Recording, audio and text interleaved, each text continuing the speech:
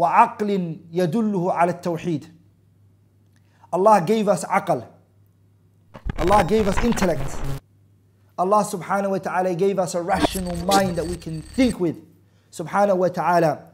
And He gave us this لِيَعْرِفُوا بِهِ حَقِّيَّةَ تَوْحِيدِهِ So that we can give Allah His right in ibadah.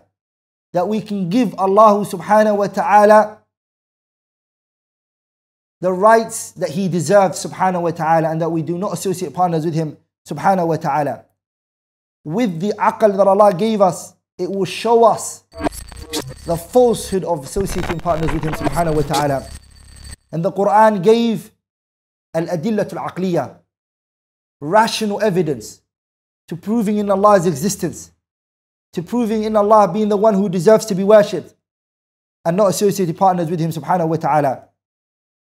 Allah subhanahu wa ta'ala, He said to us in the Quran, هل من خالق is there a creator غير الله other than Allah in Surah Fatir Allah says is there a creator other than Allah think about it you're a created you are one that is created there must be a creator this world that we live in today everything that we see everything that we see somebody created it somebody manufactured it somebody made it there is nothing on this earth that you could say to me today, it just came.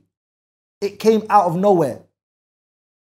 Everything, the shoes that you're wearing, the, uh, the clothing that you're wearing, the watch that you have on your wrist, everything is made from somewhere by someone.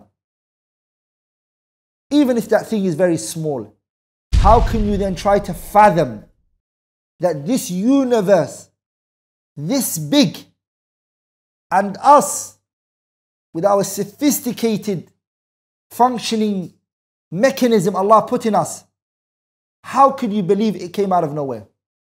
Or how could you believe there was no creator behind it, a designer that designed it?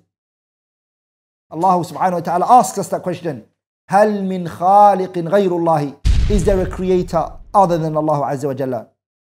Allah also said in another ayah, لا يخلقون شيئا the creation do not create. So if they don't create, وَهُمْ يُخْلَقُونَ then they're created. This is what? This is the logic. This is the rational mind Allah is talking to subhanahu wa ta'ala. Allah says in another ayah, أَفَمَنْ يَخْلُقُ كَمَنْ لَا يَخْلُقُ أَفَلَا تَذَكَّرُونَ Is the one who creates and the one that doesn't create, are they the same?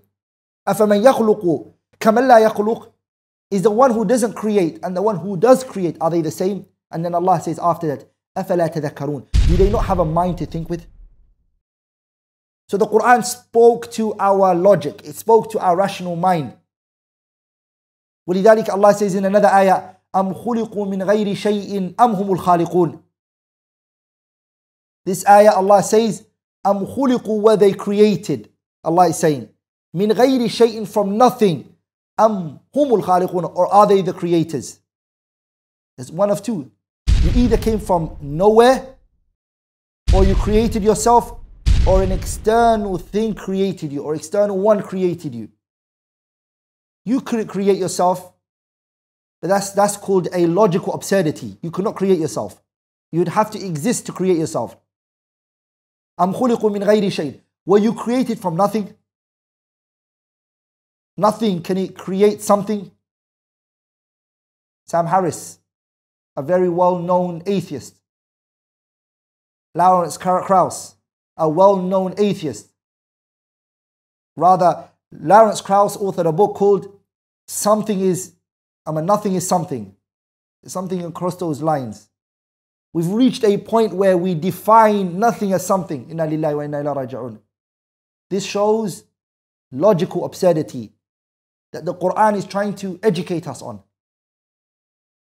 So أم خلقوا من غير شيء أم هم الخالقون أم خلقوا السماوات بل يوقنون Allah says subhanahu wa ta'ala in that verses. So the aql is one of the evidences to prove Allah tabarak wa ta'ala's existence. That He does exist.